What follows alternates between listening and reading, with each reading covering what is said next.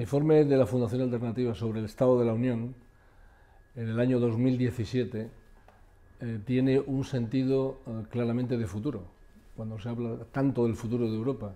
y cuando se han producido los acontecimientos de la salida, la salida eh, hacia adelante del Reino Unido fuera de la Unión Europea y cuando se producen las dos elecciones clave de este año, francesas y alemanas. Y nuestro enfoque es al relanzamiento de Europa.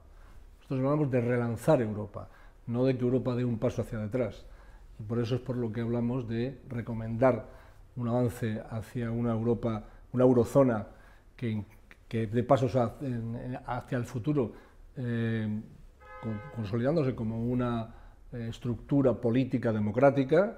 que los países que quieran ir más adelante pueden hacerlo, que haya una Europa solidaria que se ocupe de más inversiones y menos deuda,